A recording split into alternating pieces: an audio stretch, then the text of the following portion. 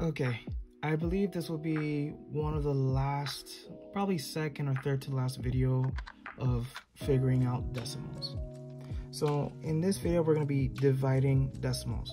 This is the most complicated basic operation and also form of basic operation for decimals. So we're gonna say something as simple as 4.5 divided by 1.5. To write this as a decimal equation, the number on the right goes on the outside and the number on the left goes on the inside.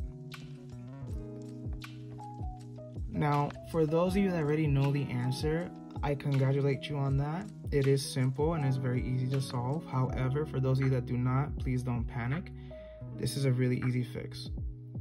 So in order to make this simpler, all you have to do is see this little decimal, just move it one time to the right, or until however many times you need in order to make this decimal number into a regular whole number. Now, however many times you move this decimal point is the same amount of times you have to move that decimal point. So if I move this once, I'm gonna move this once. So now my equation should look like this. 15 inside of 45. We know that 15 can go inside 45 three times.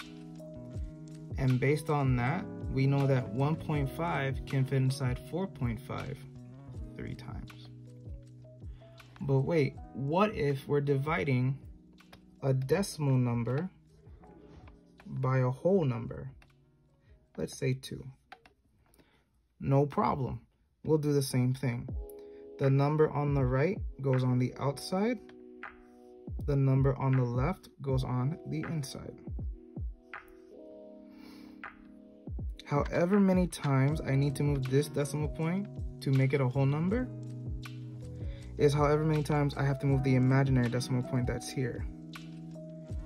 So now this will be 20 on the outside and then 45 on the inside. And then we'll do the operation like normal.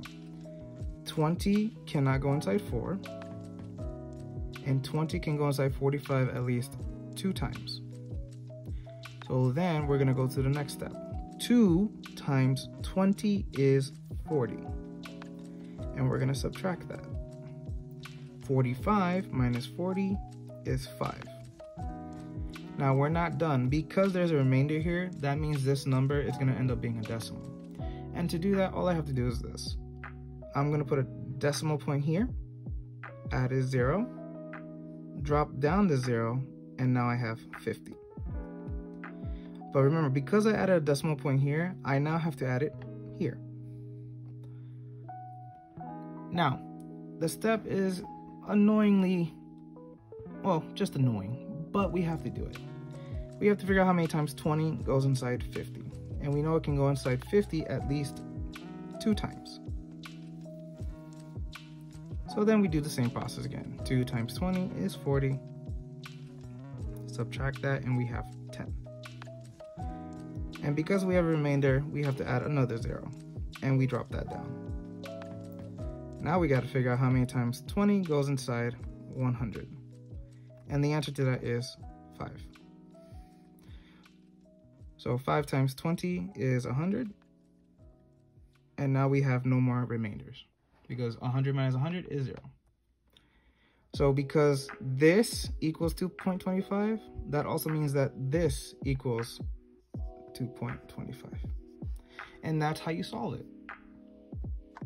Math is not hard, it just gets longer. And I really hope these videos are helping you. Because by the end of the day, all I want to do is be the good teacher to my kids.